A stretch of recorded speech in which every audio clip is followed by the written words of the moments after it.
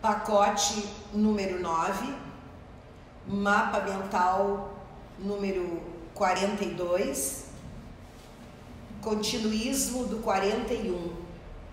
No 41 a gente viu a diferença entre regência verbal e regência nominal, quadro geral. E vimos a relação que tem com a transitividade verbal, com os termos da oração, com a crase. Meu Deus, quanta costura a gente fez no mapa anterior.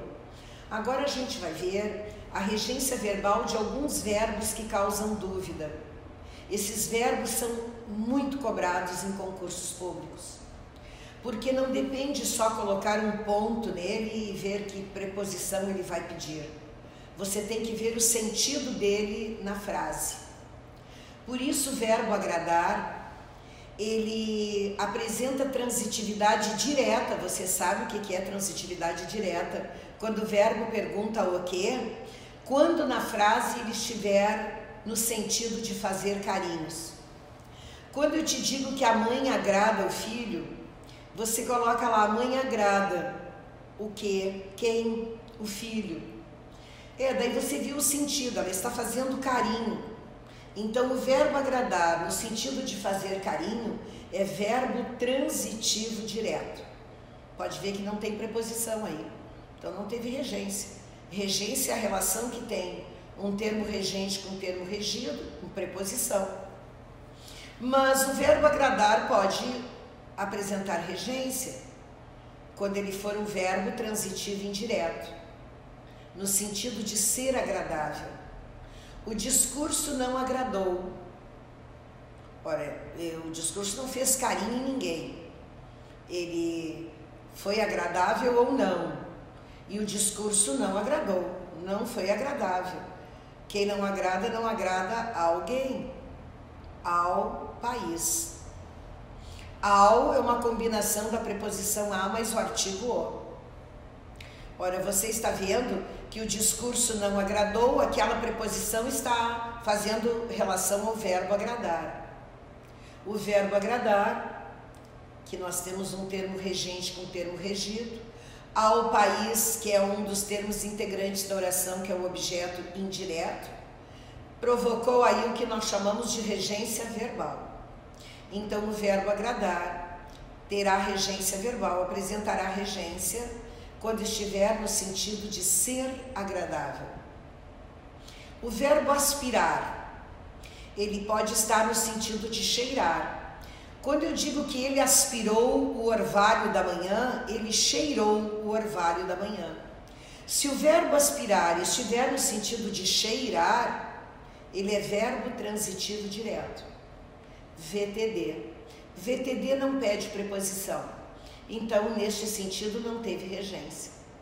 Mas numa outra frase, a banca disse que ele aspirou ao cargo de diretor. Você está vendo que ele não está cheirando o cargo, ele está almejando, ele tem ambição. E quem tem ambição, tem ambição a. De novo, aquele ao combinado, a preposição a foi cobrada pelo verbo aspirar, relação de termo regente com termo regido você está vendo que ao cargo de diretor é o meu objeto indireto. Se tem objeto indireto, nós temos sim regência verbal. Estás lembrado do mapa anterior? Resumindo, se você tem o verbo aspirar no sentido de ambicionar, de almejar, ele é VTI. No sentido de cheirar, ele é VTD. Mas como VTD não tem regência, ele só pode ter regência verbal quando ele tiver o sentido de ambição, porque aí ele é verbo transitivo indireto. Ora, assistir, esse é o, é o verbo que tem liderança nos concursos, quando pedem verbos que causam dúvida. E o verbo assistir pode estar no sentido de socorrer. O médico assiste o doente na UTI. Ele está socorrendo. Então, se ele está socorrendo porque deu lá alguma situação, o verbo assistir no sentido de socorrer é verbo transitivo direto. E como verbo transitivo direto, ele não pede preposição. O complemento dele é objeto direto. Agora, no sentido de presenciar, de ver, daí ele é VTI. O médico assistiu à sessão da tarde. Ele não está socorrendo a sessão da tarde. Ele está vendo, presenciando. E quem assiste, assiste a. O verbo assistir, nesse sentido de ver, presenciar, ele é VTI. Se ele é VTI, aquele A com crase, o primeiro A é a preposição do assistir. O segundo A é o artigo de sessão. Lembra dos casos da crase? Quando nós tivermos regência pedindo a preposição a e a palavra seguinte for um substantivo feminino, nós contraímos, não combinamos, contraímos a mais a e surge a presença da crase. Por isso, o verbo assistir só gerará regência verbal quando estiver no sentido de presenciar, de ver. Chamar é outro verbo que gera problema ele será transitivo direto no sentido de solicitar a presença de alguém. A Bia chamou a turma. Ela solicitou a presença. Quem chama, chama o quê? Aí ele é verbo transitivo direto, porque solicitou a presença da turma. Então aquele A é só artigo de turma. Mas se o verbo chamar estiver no sentido de apelidar, chamaram a menina de orgulhosa apelidaram a menina é feminino. Por isso houve ali a contração da preposição a mais o artigo a e gerou a crase. Querer. Agora eu vou tratar do verbo querer, pagar e perdoar. O que eu falar para um vale para outro. Ora, o querer, coisas. O pagar, coisas. O perdoar, coisas. É transitivo direto. Então, quando eu te digo que eu quero uma casa no campo, eu quero o quê? Uma casa no campo. O verbo pagou, ele pagou a conta. Ele pagou o quê? A conta é coisa. Ele perdoou a dívida. Perdoou o quê? A dívida. Você está vendo que casa, que conta e dívida são coisas. O verbo querer, pagar e perdoar, nesses três exemplos, apresenta a mesma transitividade, VTD. Se ele é VTD, apresentou o mesmo complemento, objeto direto. Em ambos, em todos os três exemplos, não houve regência verbal, porque regência verbal exige preposição. Porém, querer, pagar e perdoar, quando se referirem a pessoas, eles se tornam VTIs, verbos transitivos indiretos. Ela quer bem a mãe. Ora, você está vendo lá.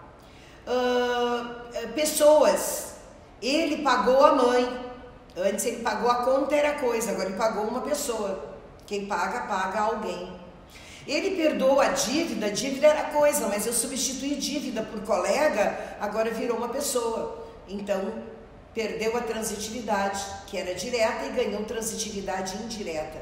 Portanto, nesses três casos, querer no sentido de carinho, de afeto, é, pessoas, que é pagar no sentido de pessoas, perdoar no sentido de pessoas, se torna VTI, verbo transitivo indireto.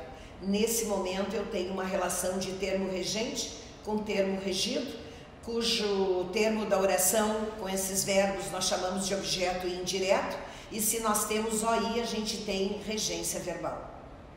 Obedecer e desobedecer, nunca se pergunta o que para esses verbos eles são sempre VTI, pedirão sempre a preposição a. Ele obedeceu à lei, o filho desobedeceu ao pai.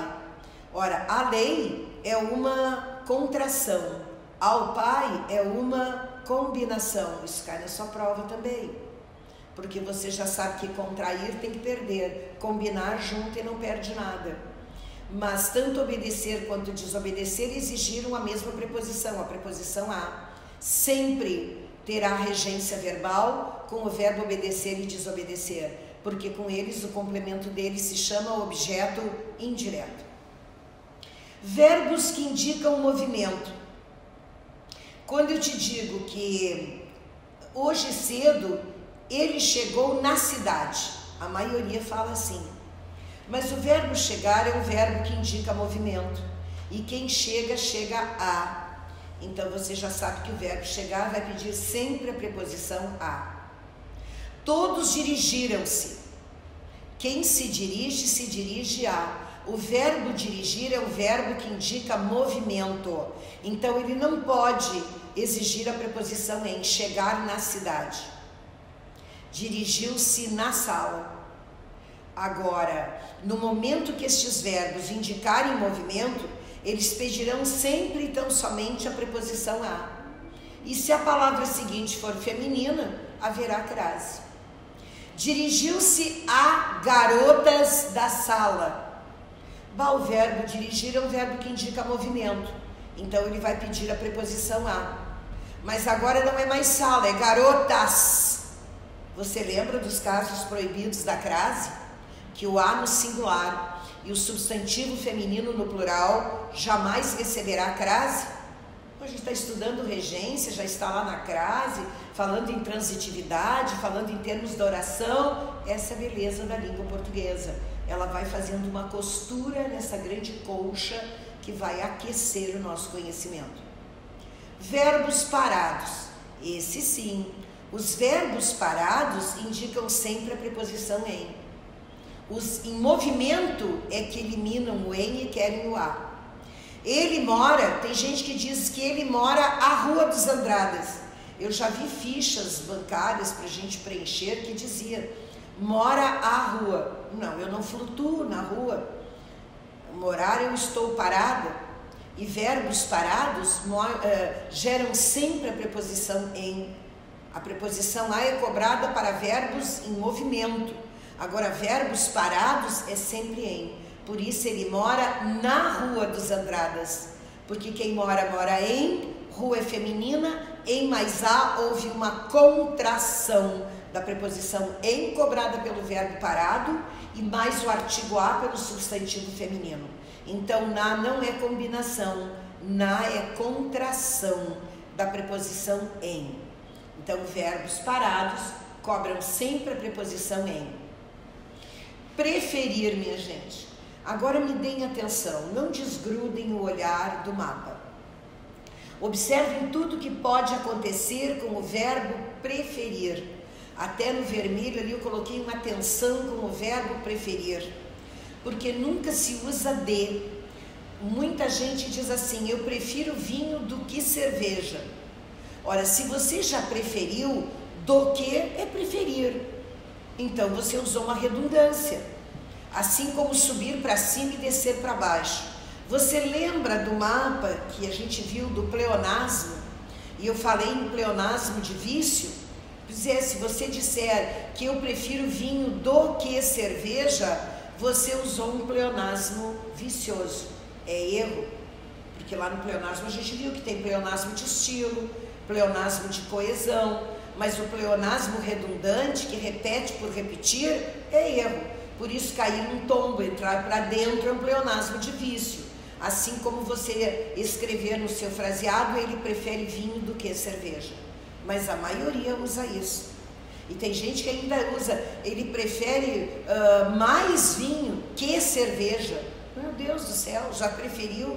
Como é que vai preferir mais vinho? Ele já preferiu vinho.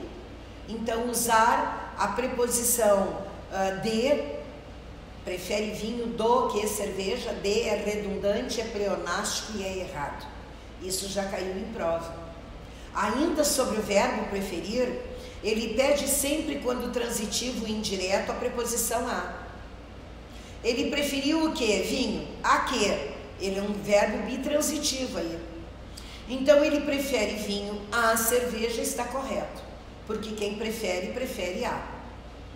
Eh, seria correto substituir o vocábulo a por do que? Manteria a frase correta? Já sabe que não, não se usa com o verbo preferir a preposição de, sempre a preposição a. A banca também costuma dizer assim, ó, se depois do verbo preferir, ele prefere, fosse inserido o vocábulo o, ele não vai dizer artigo, o vocábulo o, você vai lá e coloca o o. A frase seria mantida correta? Não. Se ele prefere eu colocar o na frente de vinho, aquele A que antes não tinha crase agora vai ter. Porque se vinho apresentar o artigo O, é porque cerveja também subentende, zeugmatiza, lembra de zeugma, que a gente já viu anteriormente, um artigo. E se quem prefere, prefere a, cerveja é um substantivo feminino, gerou crase. Cuidado com o verbo preferir nessas três nuances que eu te falei. Usando a preposição de errado, é pleonástico, é redundante. Usando a preposição a, se o substantivo anterior não apresentar o artigo, não tem crase. E se eu fizesse o inverso, ele prefere cerveja ao vinho? Não, ele prefere cerveja a vinho, porque quem prefere, prefere a. E na frente de vinho, que é masculino, não teria crase. Agora, se eu colocar na frente de vinho o, o A na frente de cerveja vai ter crase. E se eu trocar de posição, ele prefere a cerveja ao vinho. Porque se quem prefere, prefere a, vinho é masculino, vai, haver, vai acontecer a combinação da preposição a mais o artigo o. Olha quanta coisa eu falei do verbo preferir.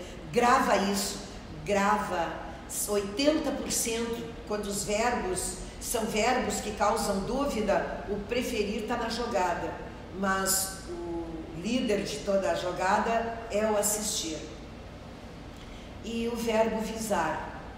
O verbo visar pode estar no sentido de assinar. Quando eu digo que ele visou o documento, eu quero dizer que ele assinou o documento. E se ele assinou, ele assinou o quê? Ele é verbo transitivo direto. Então não tem regência.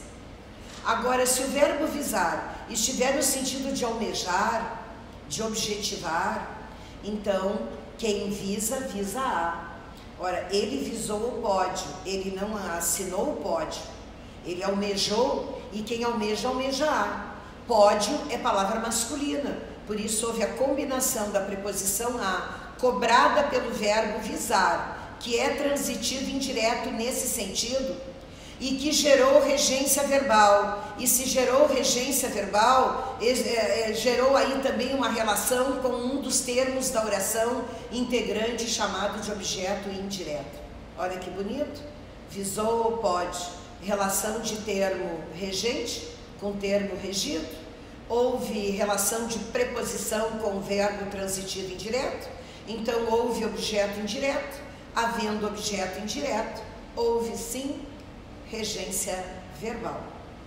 Agora, se eu tivesse tirado a, a palavra pode, ele visou ao pode, se substituíssemos pode por documento, a frase seria mantida correta? Não. Necessariamente eu teria que tirar a preposição a, ele visou o pode, porque ele, desculpa, ele visou o documento, porque ele assinou o documento. Pode não se assina, pode se almeja e no momento de almejar e visar ele vira transitivo indireto. Então cuida quando a banca manda trocar, por exemplo, a palavra pode, a palavra documento pela palavra pode. Ele visou o documento, eu já sei que é VTD. Se eu tirar documento, pode continua sendo masculino. Então aquele o permanece. Porém, se me disserem que eu deveria inserir a, a preposição a está correto, se me disserem que a frase seria mantida correta, não, porque eu teria que inserir, trocando o documento por pode, a preposição a. Ou eles mandam colocar, ou eles mandam tirar, ou eles mandam substituir. Dizem que a frase se mantém correta. Ora, não se mantém correta se eu trocar o documento por pode, porque necessariamente o verbo visar nesse sentido virará transitivo indireto. E virando transitivo indireto, necessariamente terá relação de termo regente com termo regido, com verbo que pede complemento e com o seu complemento chamado de objeto indireto. Essa conversa é que gera dor de cabeça na hora da prova. Mas se você tem bem o sentido do verbo, você sabe bem o que fazer. Na hora da prova, risca o que eles estão pedindo, coloca o que eles estão pedindo para substituir, e daí lembra, se é o verbo visar, você vai lembrar desse mapa, que ele tem duplo sentido, e daí dependendo do sentido, ele é VTD ou VTI. Então, mais um, um mapa uh, legal para você gravar, são verbos que você tem que estudar separadamente, eu aconselho que decore, decoreba é bom, claro que é bom, não só decoreba, evidentemente, mas eu digo que é bom, em determinadas situações ajuda uma barbaridade.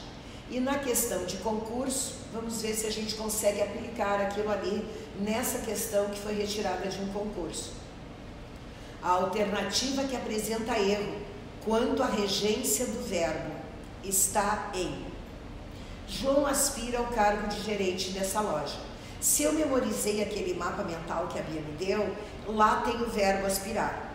O verbo aspirar pode estar no sentido de cheirar ou pode estar no sentido de almejar. Daí eu fui ver que ali o João não cheira o cargo, ele almeja. Se ele almeja, o verbo aspirar nesse sentido é verbo transitivo indireto. Então ele pediu a preposição a, quem aspira, aspira a, correto, o romano número 1, um, pelo sentido do verbo e pela transitividade que ele gerou. No romano 2 é o verbo assistir. Ah, eu lembro, a Bia me falou que o assistir bate liderança em concursos públicos. Eu tenho que primeiro ver o sentido do verbo assistir. Se ele estiver no sentido de socorrer, ele é verbo transitivo direto. Mas se ele estiver no sentido de ver, de estar presente, de presenciar, ele é VTI. Vamos ver como está a frase que nos deram. Nós assistimos o jogo da seleção brasileira. Olha, nós não socorremos o jogo, a gente presenciou o jogo, viu o jogo. Então, o verbo assistir, neste exemplo, é verbo transitivo indireto. Quem assiste, assiste a, não tem este a. O Romano 2 está errado. A frase para estar correta deveria ser: Nós assistimos ao jogo da seleção brasileira. Aquele a não presente fez com que o meu exemplo fosse descaracterizado como correção regencial. Então, o número 2 tem erro de regência, porque o verbo assistir é VTI no sentido da frase. Romano 3. À medida que tomamos, desculpa, à medida que tornamos, desliga. Romano 3, à medida que tomamos, visa o melhoramento de nossa equipe.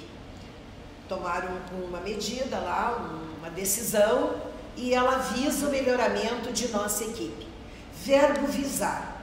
Se estiver no sentido de assinar, vai estar correto sem a preposição.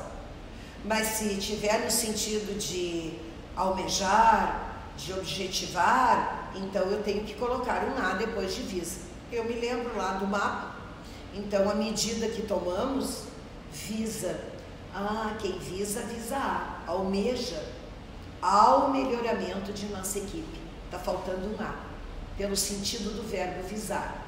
Eu lembro o explosivo do visar, ele não teria o A se fosse no sentido de assinar, mas no sentido de almejar, teria que ter o A. Então, assim como o Romano 2 está errado, o Romano 3 também apresentou erro de regência. No Romano 4, devemos perdoar os nossos devedores. Opa! A Bia falou em querer, pagar, perdoar.